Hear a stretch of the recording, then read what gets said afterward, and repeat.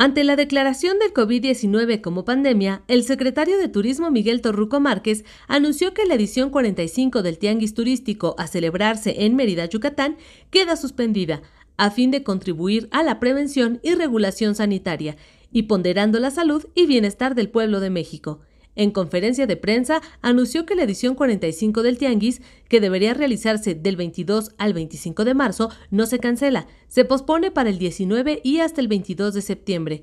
Acompañado del gobernador de Yucatán, Mauricio Vila, Torruco Márquez dijo que hasta el momento las cifras que tenían registradas para el Tianguis son 1.351 compradores, 815 nacionales y 536 internacionales. Agregó que se cuenta con 762 empresas compradoras de las cuales 385 son nacionales y 377 internacionales. Hasta el momento y previo a la declaratoria de pandemia, habían confirmado 46 países, incluido México, y 32 entidades federativas, apuntó.